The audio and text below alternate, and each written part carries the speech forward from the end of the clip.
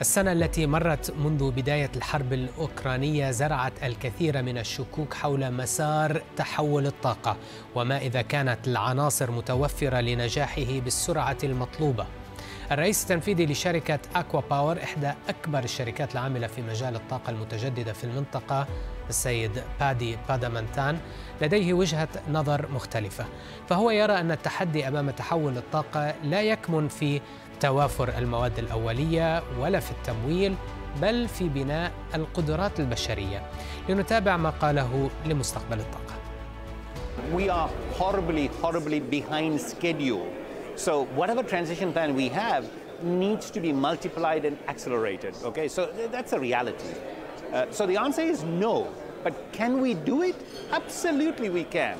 The technology is there, the appetite is there, the financing is there. It's all about bringing it together and avoiding discussion of why we cannot do it, but coming together to work together to do it. So I don't think we should be wasting time fighting different factions or communities. Forget about this.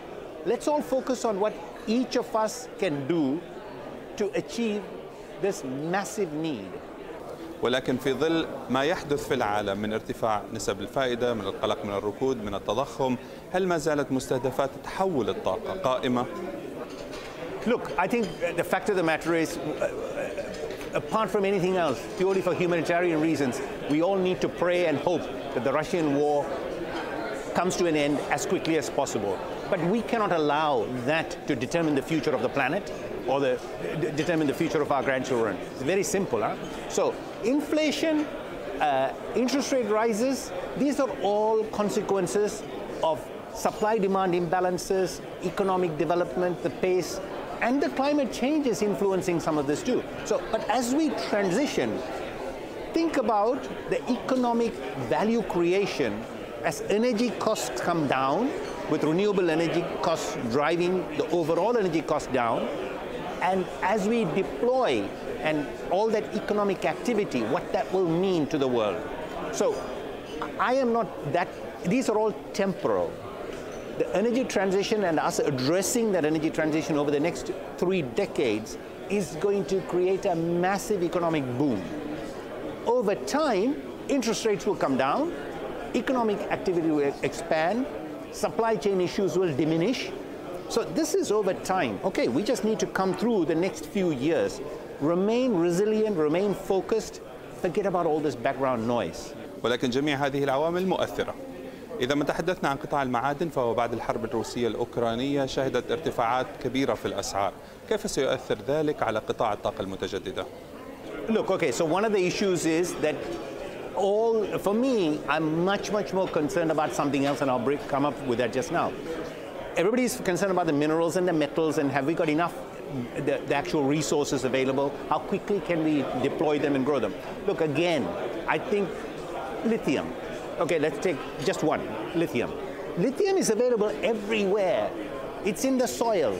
The issue with lithium is that it's very energy intensive to extract. Again, as the cost of energy comes down, processing technology improves, we will find multiple sources. For the moment, we have just focused. See, supply demand drives uh, that sort of business enterprise.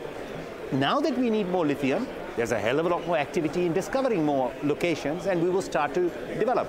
Yes, there is a time gap, but I think the world is capable of accelerating all of this. For me, what is much more concerning is the human resource capacity that we need to ramp up. Okay? We need 20 to 30 times more people who are appropriate mindset, who are technically qualified to really participate and implement this energy transition. Growing capacity of equipment, components, uh, new mines, these are all things we do over five years, 10 years. Transforming people's minds, educating people, bringing them into the right employment is not 10 years, it's generational. So this is the one I think we are not focusing on and we need to focus. That's what is going to hold us back. I'm not concerned with anything else. وماذا عن الاستثمارات؟ Enormous amount of money that is available. that is looking for the right, well structured projects, particularly in the area of clean and green. So, financing is not the issue. We have proven it as ACWA Power huh? over the last, uh, just in the last 15 years, we have built a portfolio of 75 plus billion dollars of assets in not just in one country, in 13 countries, and some of them are more challenging countries. So money is not the problem. And as we continue to grow, our expectation is for ourselves to grow from 75 billion to 250 billion dollars in the next 80 in the next 80 years. We're not concerned about the investment side of it. Money will come. We have strong shareholders. The world is out there to provide to competent people who are doing the right thing.